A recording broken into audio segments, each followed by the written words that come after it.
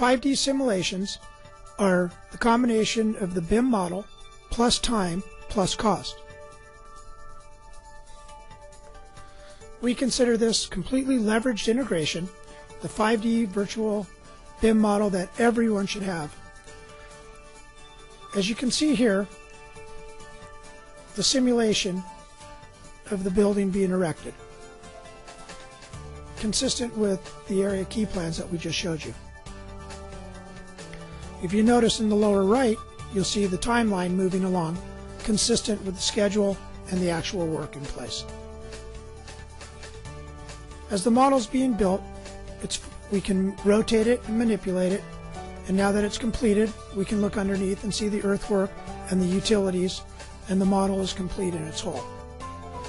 Now, we can go and look at the Gantt chart, or the timeline, and we can identify any particular line item and we can highlight that work in the model. As you see, the model goes somewhat transparent, and we can see that scope of work, which happens to be columns at the third level. Not only can we observe these, but we can zoom in and identify the individual element, and we can see what recipes, quantities, methods, tasks, and other critical information about that element.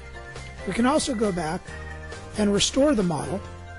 And now we can see that element in its finished location and do further reviews as to any impacts uh, that may be associated with other parts of the structure.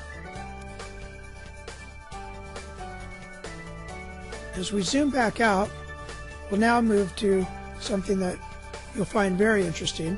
We'll turn on our section tools.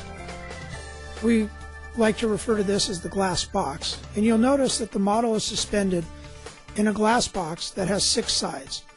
All of the sides are cutting planes, which can be moved in and out to produce perfect longitudinal, transverse, and compound sections. We'll turn the section tool off and we'll zoom in and look at the transverse section that we just cut at a random location. As we zoom in closer, we can see some reshores, we can see fire sprinklers, we can see other elements of the building.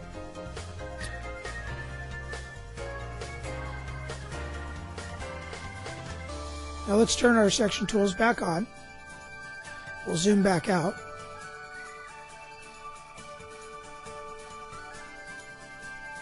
And we'll restore the model back to its original position by moving the cutting planes back out.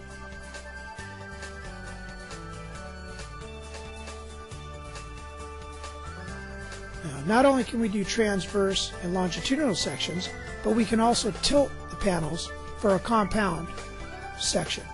In this case, we'll tilt it to about 25 degrees. We'll turn off our section tool and we'll zoom in. And as you can see, we've created a perfect compound transverse section which allows us to look at the building in a racked configuration. This ability can be used for numerous reviews and studies.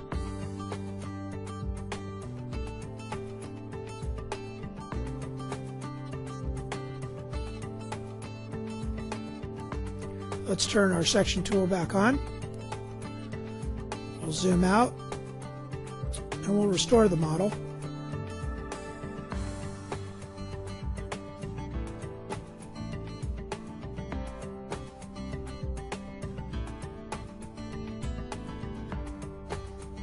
Turn our section tool off, come back in, reposition the model. And now, we'll, we'll be briefly about this, but when we talk about cost and time, you'll see in this view, we can see the cost on any given day of the week, and we can change this to represent by line item, by task, however we'd like to review whether it's revenue or cost we can go back to our Gantt schedule and we can sort this by groupings, which are predetermined by us. We can go back to any element again, highlight it, identify it in the structure, and begin the next review or constructability review.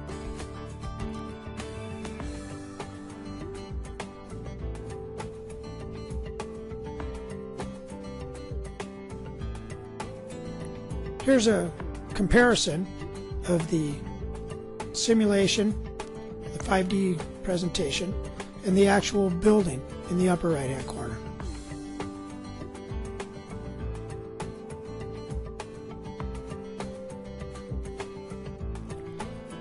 The ultimate in communication and coordination. We've done 3D walkthroughs.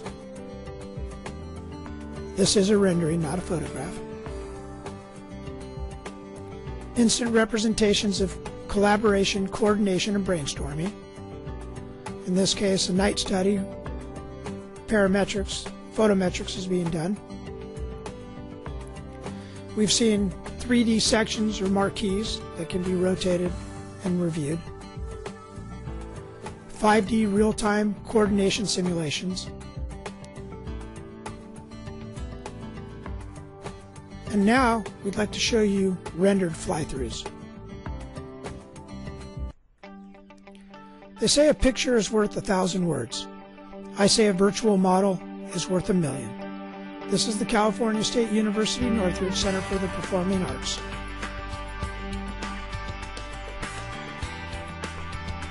I'll let you just enjoy this quick video.